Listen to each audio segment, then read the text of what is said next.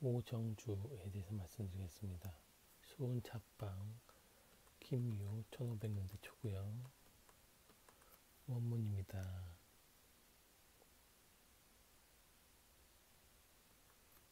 번역문입니다.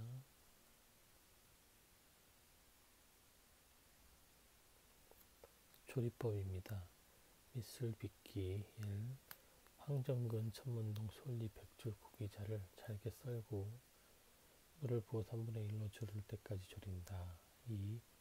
백미를 불려 가루를 낸후 수확시킨다. 3. 2에 밀과 누룩, 물가루를 섞어 항아리 담는다.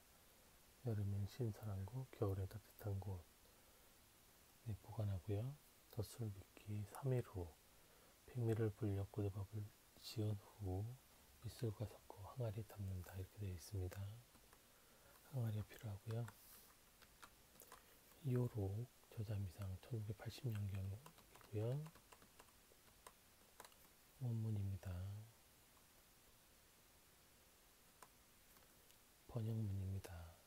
그래서 기가 허한 증상을 치료하여 하며 오랫동안 복용하면 백발이 다시 검게 되며 장수하게 된다.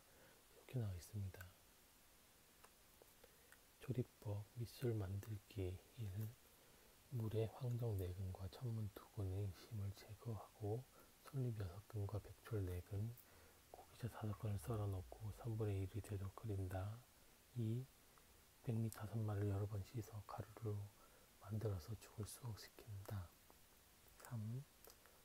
식은 죽에 노릇가루 7대와 밀가루 1대를 합쳐서 술을 빚는다. 덧술 만들기 3일 후 1. 쌀 10마리를 여러 번 씻어 물에 하룻밤 담가 두었다가 모두 쳐서 밥을 짓는다. 2. 앞서 만든 미술에 덧술을 하여 함께 섞어 술을 빚는다. 3. 익은 뒤 맑은 것을 떠서 사용한다. 이렇게 되어